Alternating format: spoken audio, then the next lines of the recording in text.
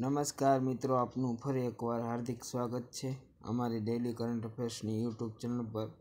આજે અઠ્યાવીસ ડિસેમ્બર બે હજાર ઓગણીસમાં ડેઇલી કરંટ અફેર્સમાં જે અગત્યના પ્રશ્નો બને છે તેની આપણે ચર્ચા કરવાના છીએ.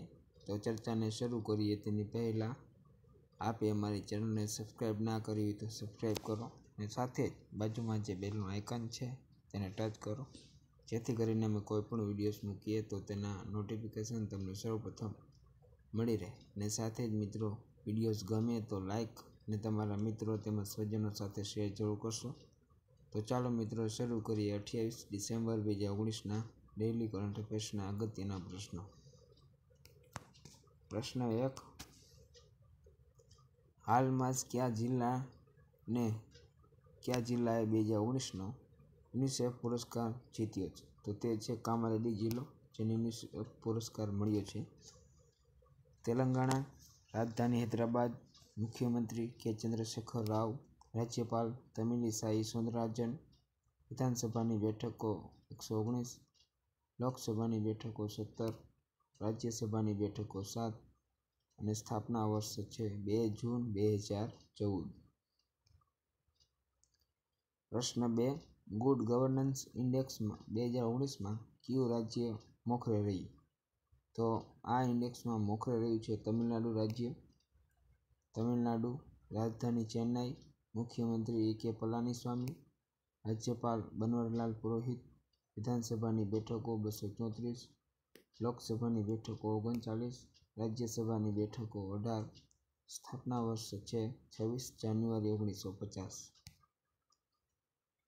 પ્રશ્ન ત્રણ, એસોચેમના નવા અધ્યક્ષ કોણ બન્યા? તો તે બન્યા છે નિરંજન હીરાનંદન.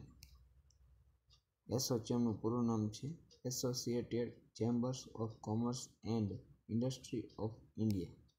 સ્થાપના ઓગણીસો એકવીસમાં ને મુખ્ય મથક આવેલું છે નવી દિલ્હીમાં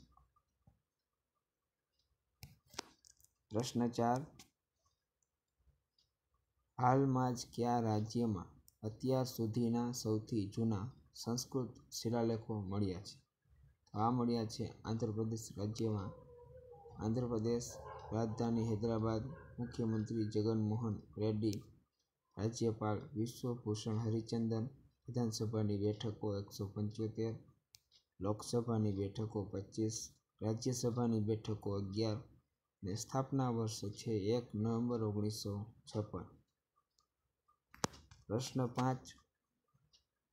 ઝારખંડ રાજ્યના નવા મુખ્યમંત્રી કોણ બનશે? તો તે છે હેમંત સોરેન. ઝારખંડ રાજધાની રાંચી મુખ્યમંત્રી હેમંત સોરેન, રાજ્યપાલ શ્રીમતી દ્રૌપદી મુર્મુ, વિધાનસભાની બેઠકો એક્યાસી, લોકસભાની બેઠકો ચૌદ, રાજ્યસભાની બેઠકો છ અને સ્થાપના વર્ષ છે પંદર નવેમ્બર બે હજાર. પ્રશ્ન છ. હાલમાં જ ભારતીય રેલવેએ કયા સ્થળો વચ્ચે હિમદર્શન એક્સપ્રેસ શરૂ કરી? તો તે શરૂ કરી છે કાલકા અને શિમલા, એટલે કે ઉપરના બંને વચ્ચે. હિમાચલ પ્રદેશ, રાજધાની શિમલા, મુખ્યમંત્રી જયરામ ઠાકુર, રાજ્યપાલ બંડારુ દત્તાત્રેય, વિધાનસભાની બેઠકો અડસઠ, લોકસભાની બેઠકો ચાર, રાજ્યસભાની બેઠકો ત્રણ અને સ્થાપના વર્ષ છે પચીસ જાન્યુઆરી ઓગણીસો એકોતેર. પ્રશ્ન સાત. હાલમાં જ ગંગા પ્રસાદ વિમલનું અવસાન થયું. તે કઈ ભાષાના પ્રખ્યાત લેખક હતા? તો તેઓ હિન્દી ભાષાના પ્રખ્યાત લેખક હતા. તેઓનો જન્મ ઉત્તરાખંડના ઉત્તરકાશીમાં ઓગણીસો ઓગણચાલીસમાં થયો હતો. તેઓને અંતિમ ઉપન્યાસ માનુષકો બે હજાર તેરમાં પ્રકાશિત થયો હતો.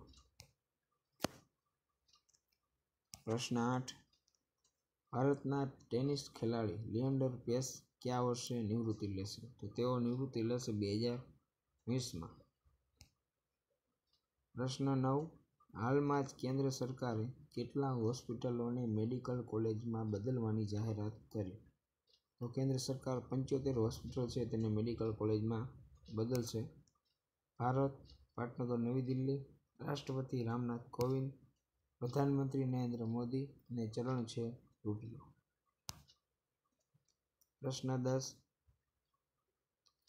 હાલમાં જ કયા દેશના ફાસ્ટ બોલર વર્નોન ફિલેન્ડરે નિવૃત્તિ લેવાની જાહેરાત કરી? તો તે છે સાઉથ આફ્રિકાના ફાસ્ટ બોલર. પ્રશ્ન અગિયાર. હાલમાં જ સેના ડિઝાઇન બ્યુરો ઉત્કૃષ્ટતા પુરસ્કાર કોણે જીત્યો? તો તે જીત્યો છે અનુપ મિશ્રાએ.